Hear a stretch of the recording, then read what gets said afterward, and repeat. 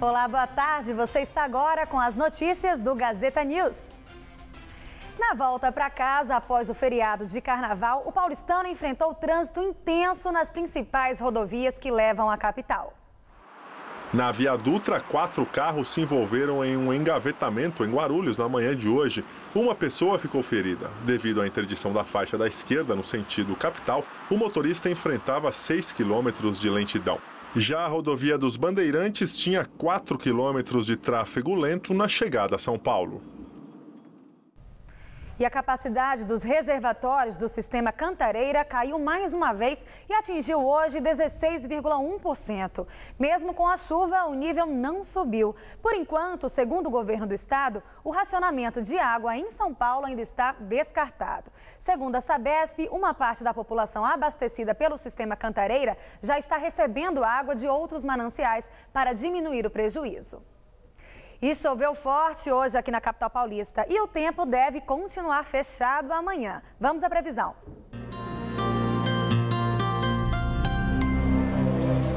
Amanhã o tempo continua chuvoso aqui em São Paulo e em boa parte do estado há risco de temporais. A frente fria que se formou no sul do Brasil avança e fortalece as áreas de instabilidade aqui no estado de São Paulo. Por isso, o tempo chuvoso predomina nesta quinta-feira. Atenção para o risco de transbordamentos de rios e alagamentos. A temperatura fica amena em todo o estado e o sol aparece pouco, como em Presidente Prudente, onde a máxima vai aos 30 graus, e na região de Bauru, onde os termômetros vão oscilar entre 21 e 29 graus.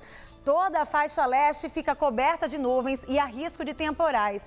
No litoral, os termômetros não passam da marca dos 28 graus. Amanhã, aqui na capital, mínima de 20, máxima de 26 graus. Na sexta, o tempo continua fechado e a temperatura máxima cai para 24 e se mantém assim no sábado, com previsão de chuva e poucas aberturas de sol. Vamos agora ver como está o trânsito aqui na capital. São Paulo tem trânsito tranquilo neste momento, apesar da chuva e da volta do feriadão. Segundo a CET, são 13 quilômetros de congestionamento. Você vê agora imagens ao vivo da Marginal Tietê, na altura da ponte da Vila Guilherme. O tráfego flui bem nos dois sentidos. Agora a ligação leste-oeste. Você vê imagens do elevado Costa e Silva, o Minhocão. O trânsito é tranquilo nos dois sentidos e é uma boa opção para o motorista. Corredor Norte-Sul agora, Avenida Moreira Guimarães embaixo do vídeo para quem segue na direção da Zona Sul. Acima do vídeo, quem segue para o centro, nos dois sentidos, trânsito tranquilo. Na Radial Leste, o trânsito também flui bem, tanto no sentido centro quanto no sentido bairro, mas um pouquinho congestionado. Aqui na Paulista, altura do MASP, trânsito também tranquilo, tanto no sentido Paraíso quanto no Consolação. E moradores de alguns bairros da periferia de São Paulo reclamam dos novos abrigos de pontos de ônibus. Os modelos que foram instalados em algumas avenidas de grande movimento são menores e diferentes dos já colocados na região central pela empresa responsável pela substituição dos abrigos. Os novos abrigos começaram a ser instalados em fevereiro do ano passado. A concessionária Ótima, que ganhou a licitação em 2012, é a responsável pela substituição de 6.500 abrigos e 12.500 totens em toda a cidade. Investimento de cerca de 300 milhões de reais. Os designs são modernos e alguns têm cobertura translúcida para que o usuário possa apreciar pontos turísticos enquanto espera o ônibus. Uma novidade que está chegando lentamente e modificada na periferia de São Paulo. Na Avenida Mateu Bey, na Zona Leste, alguns abrigos antigos foram retirados e substituídos por totens. A parada ficou sem nenhuma cobertura. Nesta outra parada, não encontramos nem o novo totem. Calamidade mesmo, não tem coberturas, não tem nada, o povo tudo se molhando aí. É época de chuva aqui, pela, não dá. Não dá que eu já peguei aqui ensopado com guarda-chuva e sopando. Já em frente a este ponto, do outro lado da avenida, o abrigo antigo foi mantido. O que mata é que alguns pontos, onde tinha cobertura, não tem mais ponto. E aí, o, e aí o cidadão fica como? Abandonado. Mais adiante, numa outra parada mais movimentada, o jeito é se abrigar sob os toldos das lojas. Andaram tirando, aí agora Tem que ficar no sol mesmo. E quando chove? Ficar na chuva, a gente. De acordo com o site da Ótima, seis dos 16 pontos da avenida receberam um novo modelo de abrigo mais simples.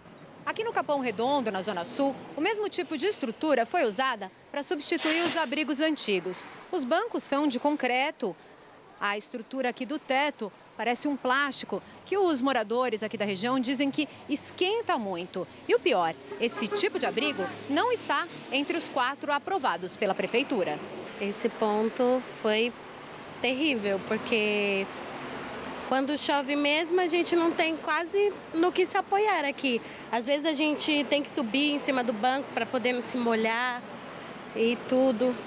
Quando está cheio, não cabe todo mundo embaixo? Está cheio, não cabe. No site da empresa, há quatro modelos de abrigo, todos com coberturas de vidro de 6,5 metros quadrados, área para cadeirantes, totens com mapas e itinerário das linhas e espaço para publicidade. Nenhum deles se parece com os modelos que encontramos na estrada de Tapecirica.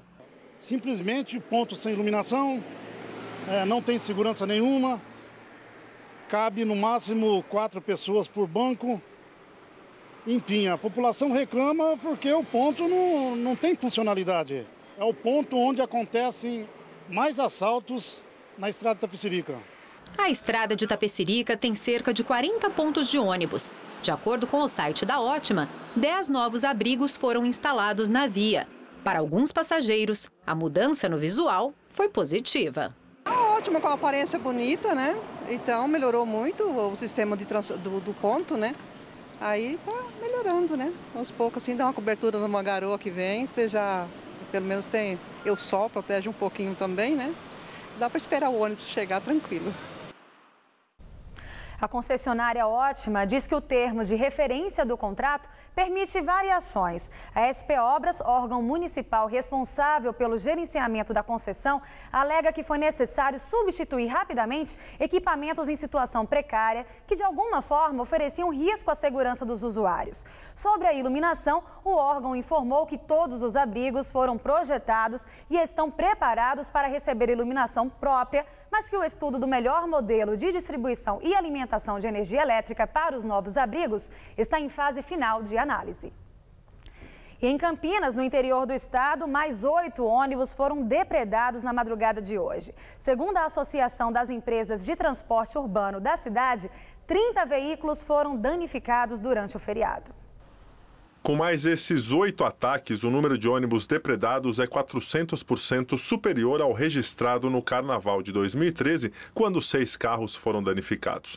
De acordo com a Transurc, o prejuízo é estimado em mais de 80 mil reais. Os veículos passaram por perícia hoje. A previsão é de que a frota volte ao normal na próxima semana, quando serão concluídos os reparos. Um arquiteto e um professor de São Paulo criaram um mapa colaborativo na internet.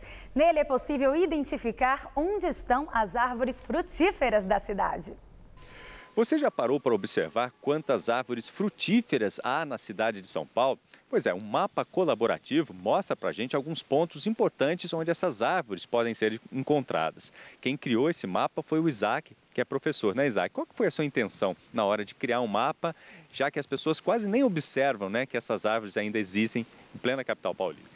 A ideia foi criar uma consciência dentro da população de que as, as pessoas podem é, conseguir parte dos seus, dos seus alimentos dentro da própria cidade, né? E, ao mesmo tempo, criar uma, é, mostrar como a cidade pode ser mais agradável né, para a população. Agora você se surpreendeu também, né, com a participação das pessoas que localizam uma árvore frutífera e colocam lá no mapa e postam lá no mapa. É, de fato, uh, a a quantidade de aves que hoje eu encontro eu não esperava, assim, foi algo que cresceu sozinho, né? Eu disponibilizei para as pessoas, falaram, é o mapa de vocês. E quando fui ver, já tinha centenas de árvores frutíferas, não só na cidade de São Paulo, mas em algumas outras cidades do Brasil. Como é que as pessoas podem participar? É muito simples, as pessoas vão no mapa colaborativo, vão lançar ou as coordenadas ou o endereço mais próximo, né? uma rua, um número de uma casa mais próxima e dão a descrição da, dessa árvore, qual, qual a espécie, qual a fruta que pode colher, se ela é de fácil acesso ou não. E Carlos Alberto Caetano, o Carlão da Escola de Samba Unidos do Peruche, começou sua trajetória como ritmista e ensinou muita gente a bater no couro. O carnaval sempre foi a paixão dele. Carlão também já mostrou sua arte como mestre-sala e hoje, aos 83 anos, é presidente da velha guarda da escola, uma das mais tradicionais de São Paulo.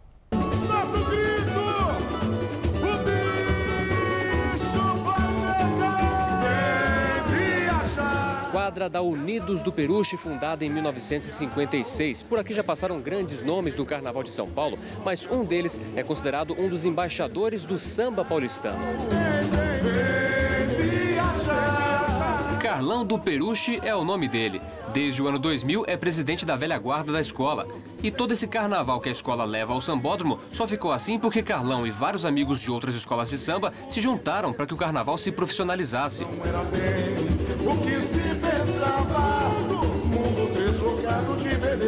Me fizeram embaixador. É, em virtude dessa luta, desse empenho todo, em prol da cultura. Né? Em prol da cultura ontem, isso aqui não era nosso nós não éramos tidos como uma cultura. Coisa de negro que a sociedade não aceitava, foi indo, foi indo, indo, aí virou cultura. Mas Carlão demonstra ser contra exageros. Para ele, a competição entre escolas de samba fez com que o carnaval perdesse características de décadas atrás. Nós usamos um, um termo de sambeiro, é o, o elemento que está dentro do samba, mas se não tiver dinheiro, meu filho, ele não vestiu mais a camisa. Ele está defendendo aquele pavilhão porque estão pagando ele, existe o Vimetal atrás disso.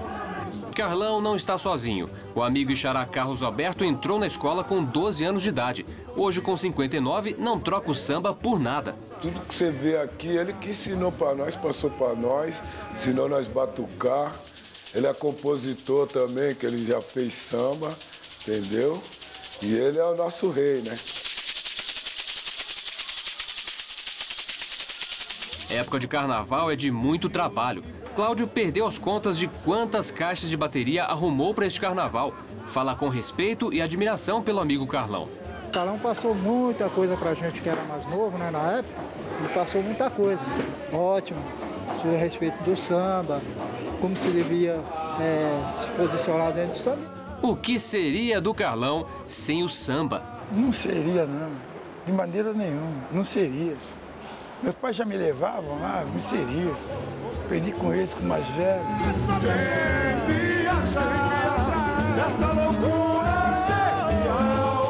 Quem não gosta de samba, bom sujeito não é. sonhador, um paraíso de beleza divina.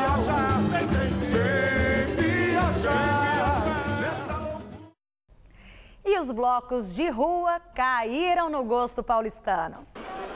Um balanço feito pela Prefeitura de São Paulo mostra que cada bloco teve, em média, a participação de 5 mil foliões. Ao todo, 200 blocos fizeram e ainda vão fazer a festa pelas ruas da cidade.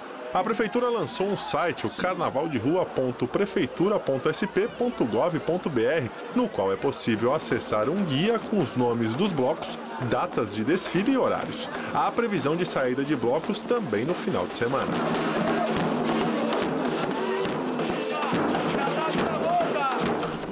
E a campeã do grupo especial do Carnaval Carioca é a Unidos da Tijuca. A escola levou para a avenida um enredo inspirado em Ayrton Senna.